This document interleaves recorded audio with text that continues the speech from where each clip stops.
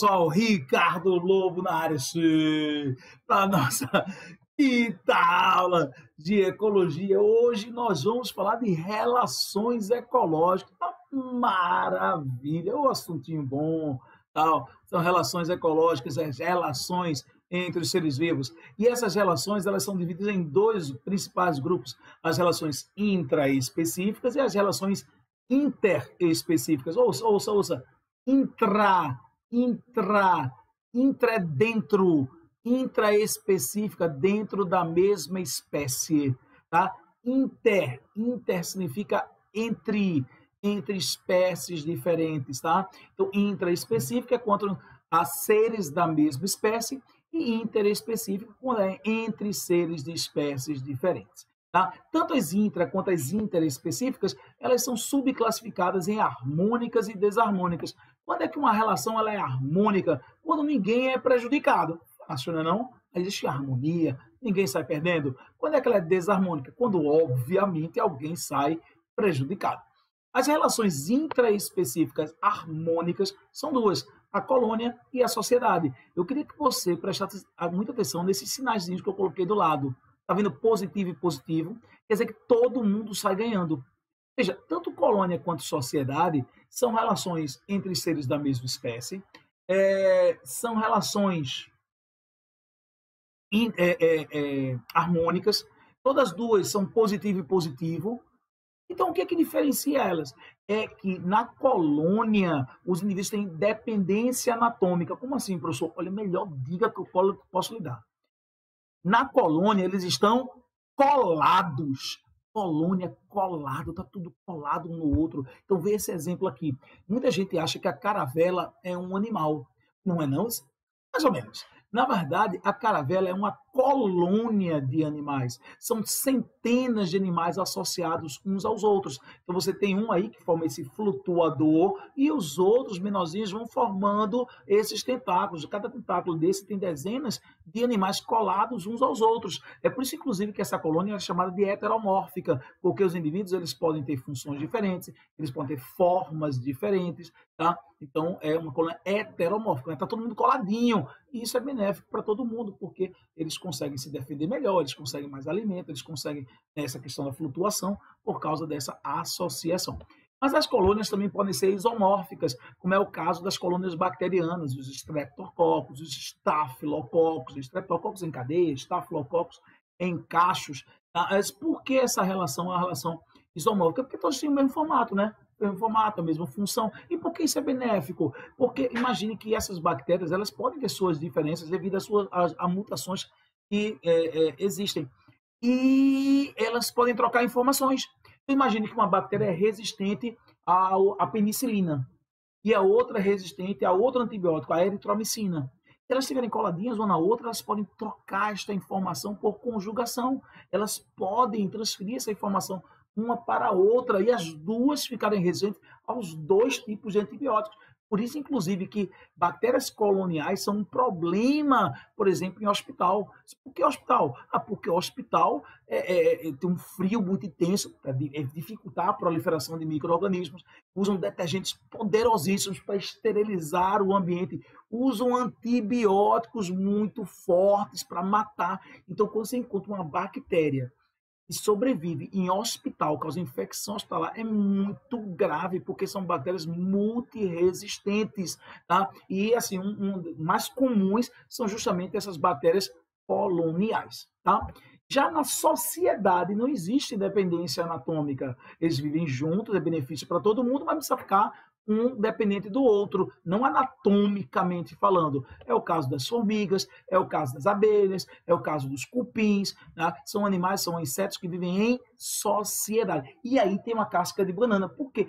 Tá ligado que uma das habilidades é você é, comparar o conhecimento científico ao senso comum. E eu acredito, eu acho que você vai concordar comigo, que a maioria das pessoas, quando vem um formigueiro, é uma colônia de formiga vem uma, vem uma colmeia, é uma colônia de abelhas. Só que nem formiga e nem abelha vivem em colônia, vivem em sociedade, que eles vivem, sim, né, juntos, mas juntos com sua individualidade, cada um na sua, né, por divisão de trabalho. Isso é uma sociedade. A gente também vive em sociedade, tá? A gente vive junto, mas não vive colado no outro. Viver isoladamente para a gente é muito ruim, é muito negativo, tá? é muito mais difícil a vida vivendo isoladamente do que viver em sociedade.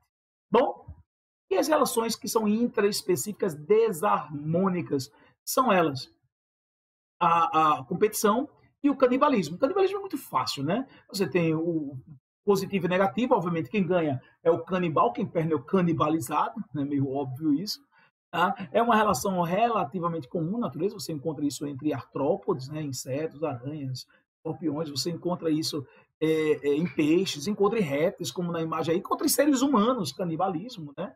Então você tem essa relação na natureza. Não é presa e predador porque são da mesma espécie. Se fosse espécie diferente, aí seria predatismo. Mas aqui é canibalismo. E aí uma observação sobre competição. Veja os sinais, menos e menos. E aí você olha assim e diz, não, poxa, mas assim, na competição alguém pode ganhar. Verdade.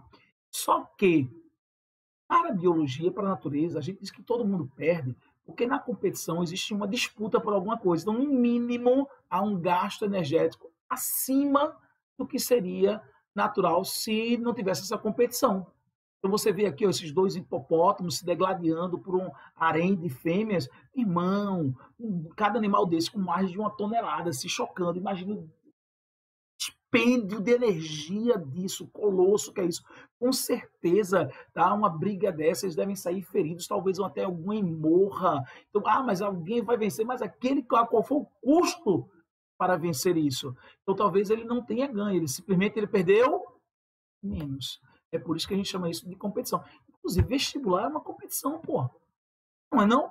São seres da mesma espécie competindo por vagas. Ah, professor, mas eu vou passar, eu ganhei. É verdade. Mas talvez, se você tivesse com a vaga garantida, talvez você tivesse mais horas de sono, talvez você se divertisse mais, talvez você tivesse que estudar alguma coisa mais chata que você não gosta, não é verdade? Então, na verdade, é assim, todos saem perdendo. Uns perdem mais, outros perdem menos, mas numa competição, todos saem perdendo.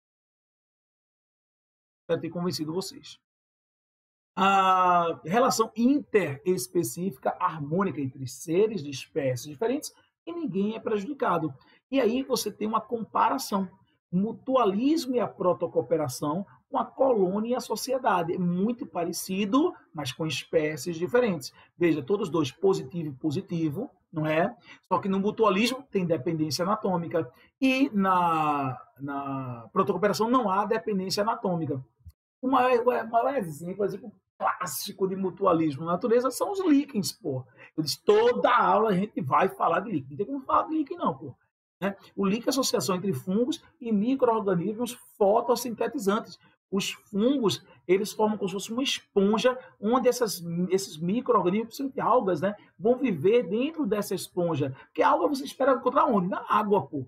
Na água. E aí, se você encontra um ambiente terrestre, porque líquen é terrestre, é como é que ela está conseguindo sobreviver ali?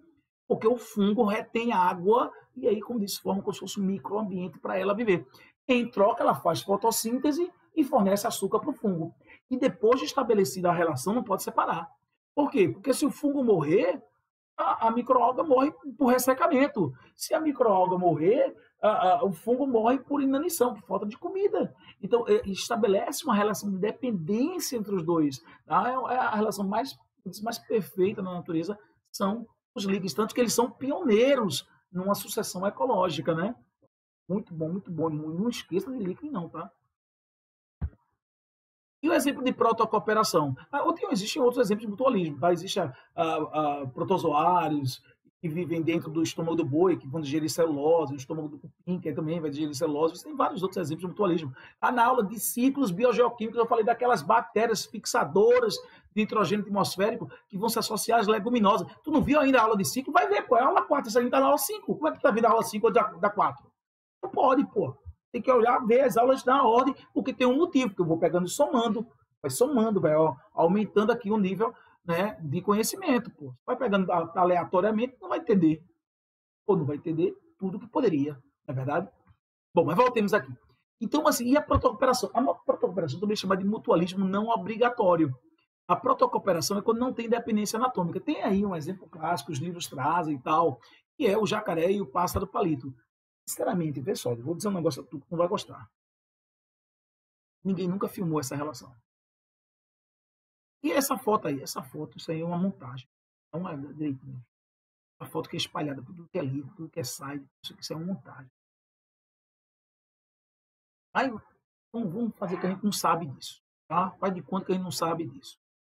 Se realmente existir essa história aí do pássaro palito com o crocodilo, com o jacaré, o pássaro palito vai lá na boca do jacaré, vai tirando os restos de comida dos dentes dele, e aí, obviamente, o passarinho ganha comida, e ele faz uma limpeza dentária, né? Claro, resto de carne, resto de comida né, entre os dentes, vai, vai proliferação de bactérias, vai causar cáries, vai perder os dentes, e perder os dentes para um crocodilo é a mesma coisa que perder a vida. Mas, vai cair no vestibular, tu bota aí, protocooperação, massa, lindo, se colocar essas duas informações, tá? Uma coisa que é importante.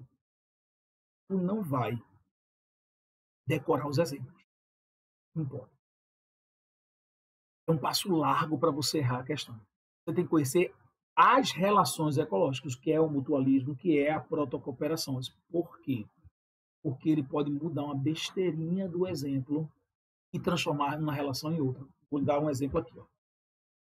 Um exemplo clássico de protocooperação, você tem aí o rinoceronte, um pássaro, ou também o boi, o anu, né? É a mesma ideia, onde você tem um passarinho que come o carrapato do, do rinoceronte, como o carrapato do boi. Ah, massa, o passarinho está ganhando comida está tirando um parasita do outro animal, né? do rinoceronte e do boi. Até aí tudo perfeito. Protocooperação, que não precisa estar colado no outro, né? O passarinho pode voar, o rinoceronte pode ir para o lado dele, até aí tudo perfeito. Só que existem registros. Este passarinho, ele é um sacana. Como assim um sacana? Ele pega e fica fazendo ferida, ferida na pele do boi, porra. Ele fica fazendo ferida na pele do rinoceronte. E aí, quando fica fazendo ferida, sai sangue e ele atrai carrapato. Aí o cara vai lá e come o carrapato que foi atraído pelo sangue do boi. Ei, que sacanagem foi essa? Pois é, tá? Então, se ele disser no texto que esse passarinho está fazendo ferida no animal para atrair carrapato, isso não deixa, isso não é mais protocooperação, porque o animal está sendo prejudicado, o rinoceronte. Então isso passa a ser um parasitismo. Tá vendo? Veja, besteirinha, uma frase, uma frase a mais no texto. Se disser isso, muda completamente a relação de harmônica para desarmônica. Tu não pode decorar os exemplos, não. Inclusive, é uma coisa que eu indico fortemente quando a questão for de relações ecológicas. Preste atenção no texto, não pule direto para as alternativas, não. Porque qualquer alteração no texto vai transformar o quesito e você vai se dar mal. Ah, então, se tem um, um, quesito que diz, leia o texto é o de relações ecológicas. Tá? Comensalismo. Comensalismo positivo e zero. Comensalismo é quando um ganha e o outro tanto faz. Agora, quem ganha, ganha comida. Por isso que é chamado de comensalismo. O exemplo clássico é o tubarão e a rêmora. Se você já viu algum documentário né, sobre tubarões, você já viu né, uma reportagem de tubarões, já viu que tem uns peixinhos que ficam né, colado no tubarão, fica acompanhando o tubarão tal. É, são as rêmoras. E diz que o, o, o, tubarão, depois de comer sua presa tal, ele vai deixar restos, né? E as rêmoras vão lá e vão comendo esses restinhos, essas migalhas que vão caindo né, da, da, do lanche do tubarão, e as rêmoras vão comendo as migalhinhas. Tal, e, só o tubarão não come a rêmora, não, mas eu acho que se ela der bobeira, ele come. Mas normalmente isso não acontece, ela é menorzinha, ela é esperta, fica ali por baixo tal. E normalmente ele não pega ela. Se disser que pegar, é predatismo, pô. Mas se o texto disser assim, não, ela só vai acompanhar o tubarão, tal, não vai fazer mal algum, aquilo outro, isso, ah, isso aí vai ser protocooperação, não. Isso vai ser comensalismo, porque não vai fazer mal nenhum, não vai fazer benefício. O que, é que o tubarão ganha com isso? Nada. Ah, não ganha nada. Ah, então aí é um comensalismo. Agora, se disser assim, não, porque na rêmora, na verdade, esse peixinho, ele pode servir de isca para outros animais que servem de presa para o tubarão. Opa! Peraí, peraí. E a rêmora servir de isca o tubarão e depois comer os restos deixados por ele, aí os dois estão sendo beneficiados. Aí é uma protocooperação. Tá vendo? Basta uma frase a mais, você muda a relação ecológica. Então, cuidado com esses exemplos decorados, tá bom? Inquilinismo. Inquilinismo é quando alguém ganha um lugar para viver sem prejudicar o outro. Exemplo clássico é o epifitismo, que eu também falei dos ciclos biogeoquímicos, quando uma planta vive em cima de outra sem prejudicá-la. Tá? Então, é, o epifitismo é um tipo de inquilinismo. Tá? Então, assim, as bromélias, as samambaias, uh, as orquídeas. Ei, os líquens, o líquen não é mutualismo, é, entre fungo e microalga é mutualismo, mas entre o líquen e a árvore que ele está em cima é um epifitismo, porque ele não vai prejudicar a árvore, tá vendo tu? Então, muitas maneiras de vocês exemplificar isso. Um outro exemplo de inclinismo tem nos livros, que é o pepino do mar e o fierasfer. Aqui é esse peixinho, tá vendo aí? Tá vendo o peixinho aí? Tá vendo o peixinho saindo aí do, do, do pepino? Eu, eu, sinceramente, eu acho essa relação muito estranha. Por quê? Ele diz assim, o fierasco é esse peixinho pequenininho, o pepino do mar é um equinodermata, é um animal que tem espinhos, parente do ouriço, tá? E aí diz que o fierasco está lá numa boa, no Recife de Coral, tranquilão, aí de repente chega um predador do fierasco. Aí o fierasco procura assim, um pepino do mar, procura um pepino do mar, aí diz que ele entra pelo ânus do pepino do mar e fica escondido no intestino do pepino do mar. Diz que o pepino do mar não faz diferença isso. E o, e o Fieraça tem ali um esconderijo para ele. Ele ganhou um esconderijo e para o outro não faz diferença. Eu juro a você que eu acho isso muito estranho. Eu não sei quem foi que fez a entrevista com os pepinos do mar para pegar e dizer que para eles tanto faz. Porque para nós, né? Um peixinho é pequenininho, mas o pepino do mar também não é grande coisa. É, o peixinho entra pelo ânus, fica no intestino. Isso não dá nenhuma obstrução intestinal, uma inflamaçãozinha, uma irritação. Eu acho esse negócio uma coceira, sei lá. Eu acho isso muito estranho. Mas que vale não é a opinião de Ricardo Lobo, que vale é o que tem no livro. Aí no livro não tá lá, pepino do mar fieraz, fieraz se esconde no intestino do pepino do mar e não faz prejuízo nenhum. Aí, aí tu bota o quê? A inquilinismo na parte de espírito positivo e zero, sem problema algum. Nesse? Ou, hein? E a forésia. O que é forésia? Forésia é quando alguém ganha uma carona com outro. É uma carona, é. Tá? É, é... Inclusive, eu vi um dia desse, um, muito interessante, que era um... o Fierasfer, o do tubarão, ele coladinho na, na, na, tartaruga. E quando ele fica coladinho na tartaruga, a tartaruga não é um. Até come, né? Come, come estrela do mar, come água viva e tal, mas que o Fierasfer não aproveita o gesto deixado pela tartaruga, não. Ele acho que é uma caroninha com a tartaruga. A tartaruga fica migrando e ele vai junto com ela tal. Se for um caso desse, a gente chama de fierasfe, tá? Se ele é apenas isso. Ele... Fierasfe é um caso... um caso de forésia. Se ele disser que só pegou uma carona. Um exemplo aqui, ó, o carrapicho. O carrapicho é um frutinho. É, carrapicho é um frutinho, pô. Carrapicho é um frutinho de capim. E aí ele se agarra nos pelos, nas penas de animais, na calça da gente, cadastro, né? Sapato e tal e ele é levado para outro local, não faz mal, não faz bem, não faz nada. Então ele ganha uma carona com os animais, por isso que é um, uma forésia, que, que é uma forésia, tá certo? Positivo e zero. Ó, uma observação ainda sobre isso. Se tu sabe que a resposta de um texto lá, de um quesito, é inquilinismo ou é forésia, tu sabe disso, mas não tem essa resposta, tu vai colocar comensalismo. Mas comensalismo não é quando é comida? É, mas comensalismo pode ser colocado como, é, em termo genérico, para qualquer relação que seja positiva e zero. Tá? Positivo e zero pode ser comensalismo. Para qualquer coisa. Agora, se tiver os três nomes, você vai ter que saber qual a diferença de comensalismo, inclinismo e forese. Comensalismo é comida, inclinismo é um lugar para viver e forese é uma carona que se pega. Bom, e para a gente fechar, as relações interespecíficas desarmônicas, quando alguém sai perdendo. E aí você tem predatismo, parasitismo, fácil, né? O predatismo, obviamente, o predador ganha, a presa perde, é, quando perde, perde a vida logo, né?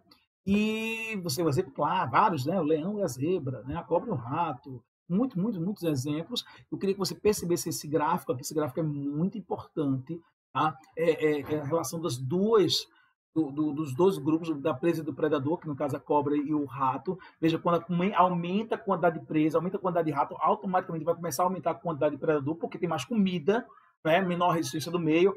E na primeira aula, hein? Falar sobre isso, potencial biótico, resistência do meio, crescimento real, vai ver a primeira aula.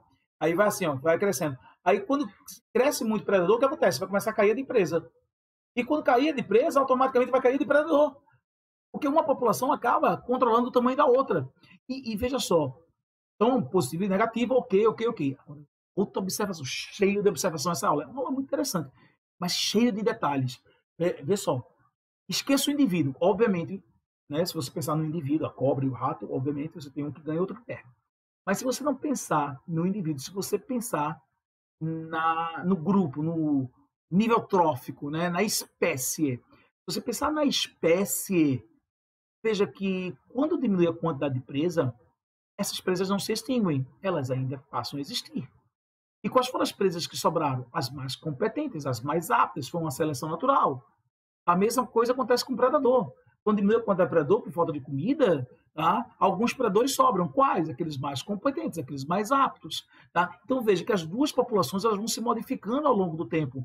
As duas populações elas vão evoluindo, elas são, elas são uma coevolução. E se você não pensar no indivíduo, mas se você pensar na população, no coletivo, as duas populações evoluem, as duas populações são beneficiadas e isso deixaria de ser uma relação desarmônica para ser uma relação harmônica do tipo protocooperação. Não é predatismo? É predatismo. Estou falando de você pensar um pouco além. Tá? Um pouco além. E aí você pensar que isso pode ser considerado uma relação de protocooperação se ele, tudo depende do texto. Se ele disser que as duas populações estão coevoluindo, que as duas estão sendo beneficiadas, mesmo que um indivíduo esteja comendo o outro, coloca protocooperação. Cuidado com isso. Cuidado, cuidado com o texto em relações ecológicas. Parasitismo, também positivo e negativo. Agora, é... a diferença de parasitismo para predatismo é que não é o objetivo do parasita matar o seu hospedeiro. Claro que isso pode acontecer, normalmente até acontece, mas não é obrigatório, não é um objetivo principal. O objetivo é sobreviver desse hospedeiro o máximo de tempo possível né, alimentar-se dele, reproduzir, gerar mais descendentes, tá? Isso aí é que é a relação de normal, comum, né, de parasitismo. Um parasita competente, ele mantém seu hospedeiro vivo o máximo de tempo possível. Um, um parasita que mata seu hospedeiro muito rápido, morre junto com ele. Então, assim, um exemplo, não é epidemia, mas na pandemia da Covid e tal. Veja, aquelas variantes aquelas cepas do vírus que eram mais agressivas, que eram mais letais, elas acabaram desaparecendo, porque veja, eles fizeram com que o mundo se voltasse contra o parasita. Né? Todo o país se voltou, se centralizou para combater este parasita. Então foi um parasita, uma variante que é muito letal. Tá? E quem foi que ainda. Olha, ainda existe o vírus da Covid, está ainda no meio ambiente, ainda pessoas pegando Covid. E por que não existe o terror mais? Porque as variantes que existem são as variantes mais fraquinhas, são elas que permaneceram. Então, existe uma tendência em relação ao parasitismo, existe uma tendência do enfraquecimento do parasita ao longo do tempo. A evolução do parasita é tornar-se mais fraco. Quanto mais fraco, mais tempo, mais ele vai existir na, no ambiente e se aproveitando do seu hospedeiro. Os parasitas podem ser internos, chamados endoparasitas, né, como essa lombriga aí que você está vendo no intestino, ou eles podem ser ectoparasitas, como parasitas externos, como é o caso né, do piolho, de um carrapato, é, de uma pulga, né, são uma sanguessuga, são ectoparasitas. Inclusive, é, inclusive, também tem parasitismo entre plantas. É, entre plantas. Quando uma planta ela suga a seiva bruta de outra planta, a gente diz que ela é um M parasita. M é meio. Um meio parasita. Por que um M? Por que meio parasita, professor? Porque ela ainda vai ter que fazer fotossíntese, porque ela não vai sobreviver só de água. A seiva bruta é água e sais minerais. Então ela vai precisar ainda fazer fotossíntese. Ela ainda vai precisar é, é, trabalhar. Então ela é um meio parasita. Mas se uma planta ela sugar a seiva elaborada de outra planta, que já é glicose, ela não precisa fazer fotossíntese. É uma planta que não precisa fazer fotossíntese. Aí a gente chama isso de holoparasitismo. Tá? O holoparasita é aquele que é, é, não precisa trabalhar. Ele já sobrevive completamente do seu hospedeiro. Continuando, escravagismo. Escravagismo é uma relação também positiva e negativa, só que aí quem perde, perde não é a vida, perde a liberdade. O exemplo clássico é da formiga e do pulgão. O pulgão é um parasita de plantas, é a pulga de uma planta. É. O pulgão, ele suga a seiva elaborada da planta, ele vai sugar a, a glicose da planta. Como o pulgão só suga açúcar, a, a, até as fezes do pulgão são doces. Coisa incrível. As fezes do pulgão é doce. Diz que a formiga gosta, que é o que você está vendo aí nessa imagem. Olha a imagem, olha a imagem. Tá vendo? É, é, é a, a, formiga está atrás do pulgão. O pulgão está jogando essa, essa, bolinha aqui, ó. Essa bolinha são as fezes do pulgão. É uma bolinha de açúcar, pô. A formiga vai lá e come esse açúcar. É, cara. Pois é, mas é até doce.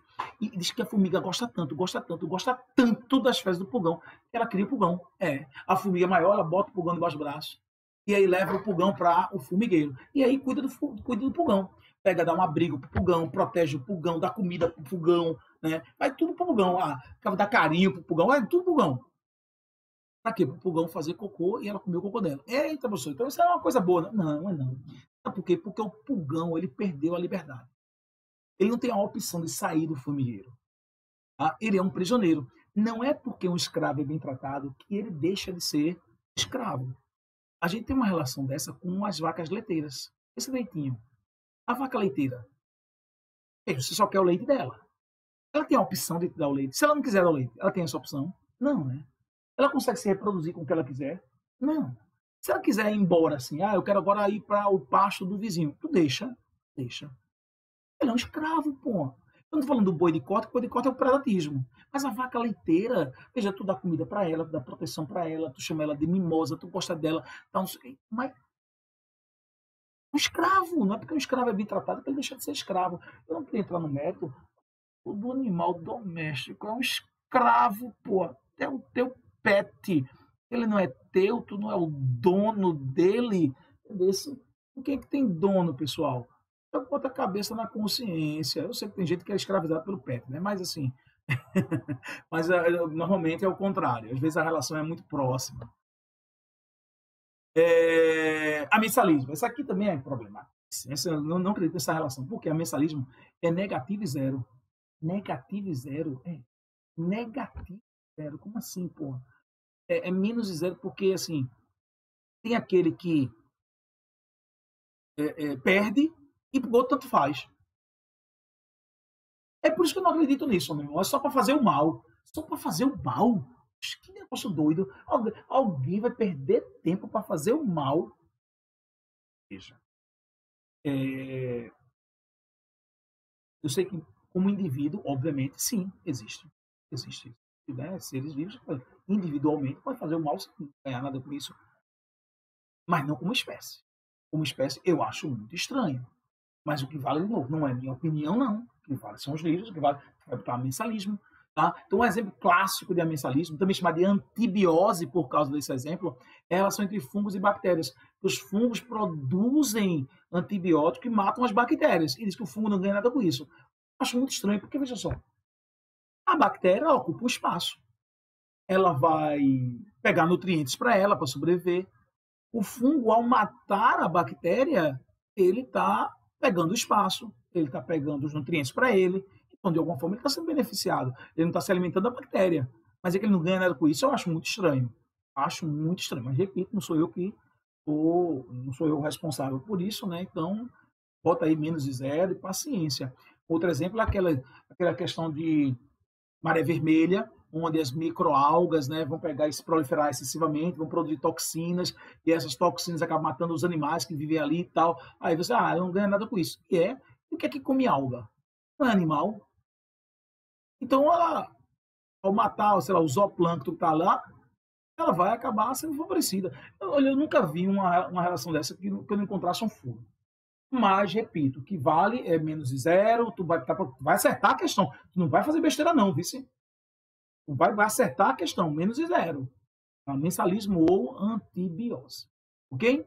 E para a gente fechar essas relações interespecíficas desarmônicas, Competição, a gente já falou de competição, as intraespecíficas, aqui a competição é interespecífica, tá? Aqui a diferença é que não há competição por reprodução, é só por espaço, por alimento. Então você vê aí, ó, uma clareira na floresta, alguma árvore foi cortada ou ela simplesmente morreu e caiu. E aí vai ter agora milhares de sementes que vão competir para ver quem é que vai ter, a, a quem vai chegar, né, a, a, ocupar aquele espaço daquela que não está mais ali. Tá? Então, competição interespecífica. Fechou? Fechou não, ó. Fechou não. Deixa eu dizer uma coisa, tu, tenho, eu tenho duas observações a dar a vocês que é importante, tá? Tá aqui, ó. Veja, não é, não é desarmônico, não. É como uma observação mesmo, tá? Que são adaptações dos seres vivos ao ambiente e podem estabelecer relações. E aí eu queria mostrar a vocês a diferença de camuflagem e mimetismo. Camuflagem é uma relação que, assim, você diria que seria positivo zero. Né? Você está vendo aí, ó, é, então é, seria harmônica, né? É, você está vendo aí, esse é chamado de lagarto-folha. Está vendo o lagarto? O lagarto-folha. Então, ele tem o corpo dele, a coloração dele se assemelha à folha. Veja, para aquela planta não faz diferença alguma ali o lagarto. Né? Então, não está zero para ela. Mas ele está ganhando uma camuflagem, ele está ganhando uma forma de se esconder de um possível predador. Entendeu? Então, camuflagem, zero. São ecológica, harmônica. E mimetismo. Mimetismo é imitar alguém que pode ser perigoso ou pode ser ter um gosto ruim. Tá? Existe o, o mimetismo batesiano, que é o mimetismo quando você imita alguém que é perigoso. Você conhece a cobra coral falsa, a cobra coral verdadeira, tá? Aqui, ó, isso, isso são lagartas, pô, lagartas, são larvas de borboletas e, e, e, essas lagartas, ela tem a sua região posterior do corpo, né? veja, tem umas manchas que parecem como se fossem cobras. E aí o animal olha ali diz, meu irmão, não vou, um passarinho, não vou chegar ali não, porque ali é uma cobra. Ele se confundir. Então isso é um mimetismo, tá? Ele está imitando. É, é, é... E aí, qual é, a relação, qual é a relação ecológica? Veja, aqui também, teoricamente, seria positivo e zero, né? Ele está ganhando a imitação e a cobra não, isso não, faz, não vai nem vem. Tá? Então também seria positivo e zero. Como fosse um tipo de comensalismo, só que não é comida, tá? É, se aproveitando de imitar um outro. E existe o um mimetismo mulheriano, mulher, milheriano, como é que se fala isso, tá? De Miller, tá? Que é quando um animal ele parece com outro que tem um gosto ruim. Você tem aí, ó, essa borboleta monarca, que ela tem a, um gosto ruim. O gosto dela é ruim. Nunca comi borboleta, não, mas diz que o gosto dela é ruim. Aí os passarinhos não gostam de comer essa, essa borboleta porque ela tem um gosto ruim. E tem a, a borboleta vice-rei. Engraçado, ela não é monarca, ela é vice-rei. E ela parece com a monarca. Mas o gosto dela não é ruim. Aí o passarinho olha assim e Vou comer, porque ali tem um gosto ruim. Ó. Aí ela acaba se aproveitando disso tá? e sobrevivendo. Tá? É um mimetismo que ela está imitando o outro, só que agora é por causa do gosto, não é por causa do perigo. Tá? Aí é chama de esse, esse mulleriano, milleriano, como você queira chamar. Tá? Então precisava fazer essa observação que seriam relações harmônicas, mas diferentes, um pouco à parte, né? E aparece, tá? Aparece bastante em vestibular. Fora isso, vamos exercício, exercício, claro, tá? Vamos treinar. No ciclo de vida de um inseto endoparasitoide. Eita, o que é isto? Parasitoide. Eu não falei não. Parasitoide é um misto de parasita e predador. Mas ele diz isso no texto. As larvas se desenvolvem dentro de um hospedeiro. Essa relação leva o hospedeiro à morte. Por isso, considera-se o parasitoidismo é um misto de parasitismo e predação. Porque, é, é, por exemplo, tem vespas que colocam os ovos na numa lagarta, que é a larva da borboleta. Aí, quando os ovos eclodem, as larvas da vespa se alimentam da larva da borboleta, da lagarta. Então, é um misto entre parasitismo e predatismo, que vai acabar levando à morte. A larva desse inseto possui a vantagem adaptativa de quê? Está ah, com a comida ali do lado dela, né? Que é a, a, a lagarta onde ela foi colocada, né? O hospedeiro. A resposta é qual? Ficar livre do ataque predador? Não. Poder se reproduzir dentro do hospedeiro? Não. Ter alimento durante o seu desenvolvimento? É a resposta. Ter alimento durante o seu desenvolvimento. Tá? Então, assim, a questão do Enem, estão falando sobre essa relação de parasitismo e predador parasitoide. E para a gente fechar, fundamental, aula longa, talvez seja a aula mais longa tá, que eu tenha aqui em vídeo, mais importante, tá? Tinha que falar de tudo isso, tinha que falar junto porque é, para você entender as relações, você tem que falar junto delas. Algumas espécies de orquídeas apresentam flores que mimetizam, mimetizam vespas fêmeas, de forma que vespas machos são atraídas na tentativa de acasalamento. Ao chegarem às flores, os machos frequentemente entram em contato com o pólen da flor, sem prejuízo de suas atividades. Importante isso, tá? Contudo, como não conseguem se acasalar, esses machos procuram novas fêmeas, encontrando novas flores e polinizá-las. Olha, sinceramente, esse quesito aqui, veja, se não tivesse a frase sem prejuízo de suas atividades, eu diria isso um parasitismo. Porque o, o, o, essa vespa, ela é enganada pela planta, pô. A planta tem a flor parecida com a vespa fêmea. Aí a vespa macho vai lá, né, e dançou, é não, ó. Enquanto isso, ele fica procurando a vespa fêmea, não, tá, não tem vespa fêmea, o pólen vai se agarrando nele, e aí essa planta se aproveita. Ah, mas ele não perde nada com isso, não perde o tempo. E a energia que ele gastou procurando a fêmea? Ele é enganado sequencialmente. Se é enganado sequencialmente, ele está perdendo. Isso seria um parasitismo. Mas aí o que vale, de novo, não é minha opinião. O que vale é que tem no texto. E o que é que tem no texto? Sem prejuízo de suas atividades. Então é positivo, porque a planta ganha né, um polinizador, e para a vespa, aparentemente, tanto faz. Positivo e zero. Eu não concordo, mas o que tem é o texto. Você vai ter para o texto. Então, veja, seria o quê? Ah, então seria uma forésia, porque ele está transportando pólen da outra sem prejudicar. Mas, mas não tem forésia. Foi o que eu disse a você. Você sabe que é forésia, mas não tem a resposta forésia. Vai estar o quê? Comensalismo, que é essa relação genérica de positivo zero. Vê, que aula ações ecológicas. É muito legal, muito interessante, cheio de surpresas. Um assunto muito bom. Cuidado com as cascas de banana, tá bom? Foi ótimo. Cheira para todo mundo. Até a próxima aula.